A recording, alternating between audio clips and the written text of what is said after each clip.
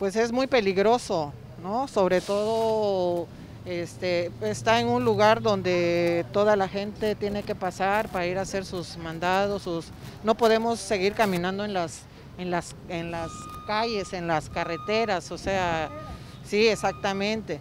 Entonces, este, pues no sé quién sea la, dependencia adecuada para, para arreglar esta situación por lo pronto yo creo que el, municipio debe de tomar cartas en el asunto y ver por la seguridad de los ciudadanos sobre todo, ¿no?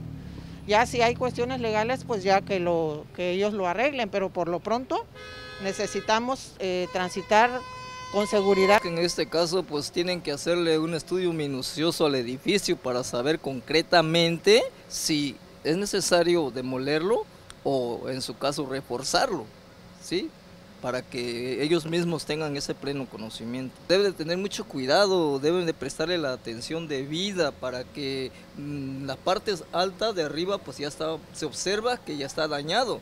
Entonces seguirle poniendo allí avisos para que los ciudadanos, los peatones no se pongan en confianza, porque en un momento dado puede suscitarse por causa del clima algún derrumbamiento o alguna caída de alguna de las partes de la planta alta. Pues está mal, ¿no? Porque aparte de que da mala apariencia para, para aquí, para el centro, pues deberían de arreglarlo, pues deberían de cercarla, ¿no? Para que así, este, o poner letreros, que no pase la gente por ahí.